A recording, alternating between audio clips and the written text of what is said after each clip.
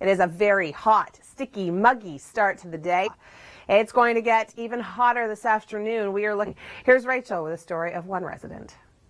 It was a disaster when the Greater Toronto Area flooded on July the 8th, 2013, especially here in Mississauga at the residence of Jeff Hill. It was devastating. It was like a dark hole. You're looking down the basement, but you were you could only look down a small path, maybe uh, maybe a foot from the ceiling. So it was a different sort of sight. Jeff estimated that approximately 67 inches of water flooded into his basement during the Greater Toronto flood, completely washing out this bathroom. One year later, repairs are still underway.